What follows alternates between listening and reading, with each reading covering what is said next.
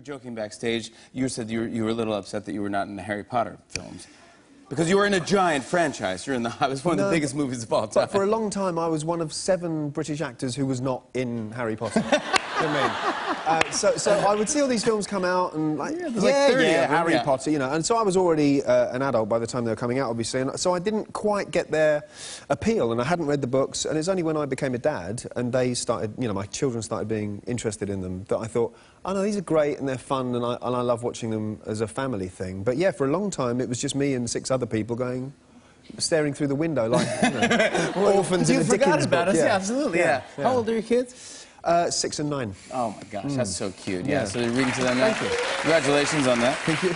Uh, but I mean, are, are they are they psyched that Dad, Dad is the Hobbit? Do they get to see these or no? They do, no, they do. I mean, there, there are some bits uh, that are a little bit dicey because you know there are big spiders in this series of films. You know, there are some scary bits, and some of it is kind of Trust dark. me, I'm yeah, I, I get Yeah. scared. Yeah, yeah, absolutely. kind of. You know, there is, as they say, mild peril.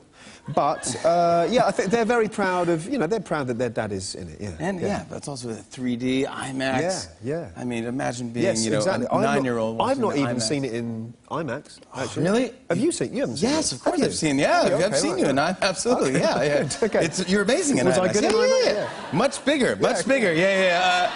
Uh, uh, but it's, it's, it's unbelievable because you submerge uh, into this world and it's just it surrounds you and it's just the most fun thing in the world. I think No, they're kind of made for these uh, giant screens. They, they, they sort of are. I think what Peter Jackson's strength is, though, as a filmmaker, as well as sort of working on that scale and those kind of the epic nature of it, he always wants you to care about character. He always wants you to care about story. So, in, in the midst of a huge battle sequence or whatever, it's some of the best choreographed battles I've ever seen. He will always cut back to eyes, you know, and character, and the, the cost of this violence and the cost of these battles. It's not just a sort of boys shoot 'em up movie or whatever. Yeah, it's always still about character. you know. And uh, is this, this is the last one, right? This is there's... It is. It's the third of the three.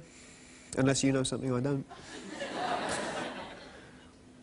Yeah, I do. Yeah, Uh, yeah, yeah. There's going to be a movie that the, the it's a surf movie. Aye. Yeah, yeah, but it, it gets weird, but it's still an IMAX, so I mean, it's going to be fun. The yeah, Hobbit fine, surfing fine. is really fun. No. No, but this is this is it. This is the fun. Are, are, you, Yes. are you sad, a little emotional, I'm not, bittersweet? no, I'm not sad. I, the last day shooting got kind of emotional when saying goodbye to people, realising you, you know you'd spend on and off two and a half years of your life with those people. You really did? Yeah, I mean, because it was from beginning to end, it was two and a half years, and um, so Great they cast of people, Ian lovely, lo- oh, amazing, yeah, amazing, Yeah. Um, lovely cast and crew. So yeah, as you're saying goodbye and you realise that is, God, this is it now. That's slightly emotional, but really, just relief that you can now share it with an audience.